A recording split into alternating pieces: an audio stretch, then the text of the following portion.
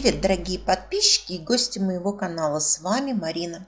Сегодня буду шить из кругов. Для этого понадобится тарелка, блюдечко и какая-то крышка. Можно также начертить круг самостоятельно и размеры выбирать любые. У меня есть остатки тканей от других проектов. Я беру абсолютно разные цвета и сначала делаю большие круги 17,5 сантиметров. И второй круг. Все размеры на экране.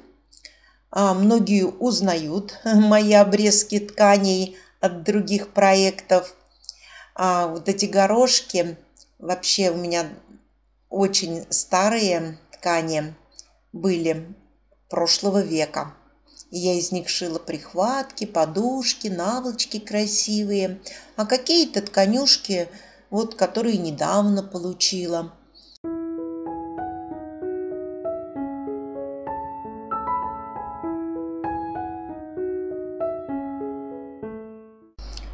Зачем в кадре утюг?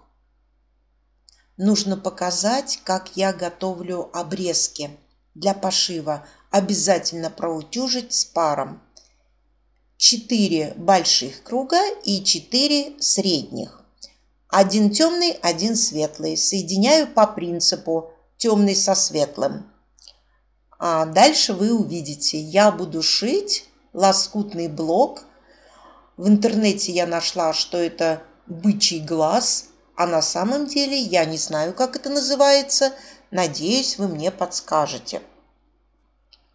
Три круга ничем не обрабатываю, а чтобы в середине не было утолщения, я большой круг вырежу в серединочку. Для этого складываю большой круг и показываю, как я делаю. Вот этот кружочек маленький, он из бумаги. Но есть же метод проще, но все приходит во время того, как я делаю. А, когда я озвучиваю, часто вижу там свои ошибки или можно было сделать проще. А когда снимаешь видео, сама не всегда догадываешься, как надо сделать попроще. А вообще вы у меня такие молодцы, мои подписчики и гости. А, пишите комментарии, советы даете. Я очень рада, все читаю, благодарю вас. Сто раз каждому готова сказать спасибо, но не всегда всем отвечаю. А вы знаете, иногда еще улыбаюсь. Кто ведь зачем следит? Кто за моим творчеством, а кто-то ищет, какой бы найти изъян. И вот текстом писала, иногда, знаете, при монтаже то солнце отсвечивает, и перепутала букву А и Я. И сделала ошибку, орфографическую ошибку, но можно сказать описку. И в комментариях пишут, Марина, а зачем вы так пишете? Ну, неужели непонятно? Ну, люди разные, хочется сделать мне замечание. Да, пожалуйста, дорогие мои, делайте замечания.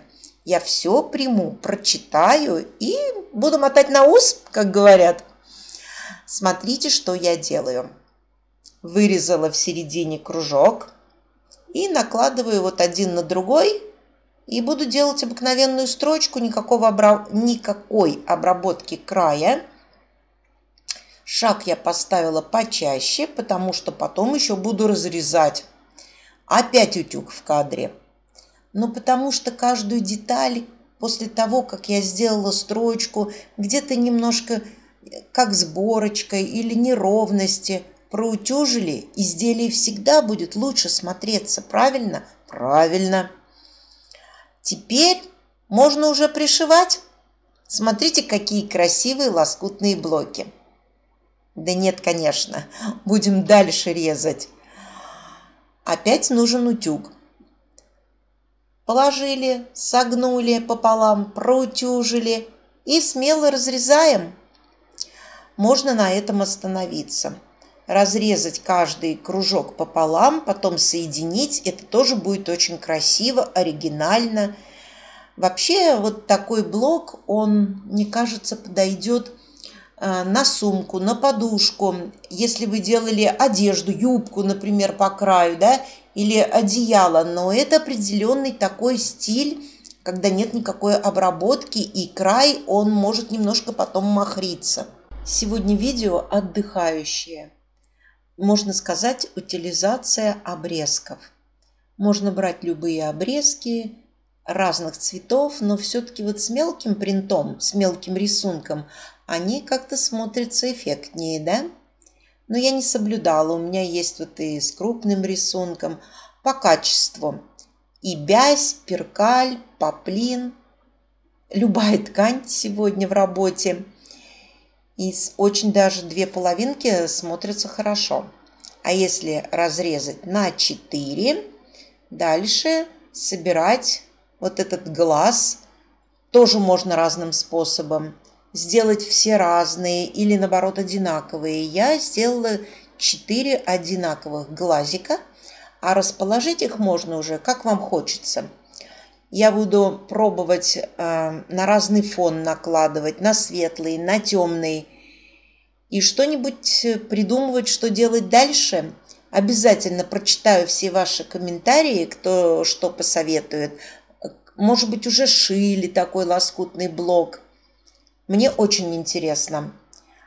А швы я разутюживаю на разные стороны, потому что чтобы в серединочке не было вот э, такого уплотнения.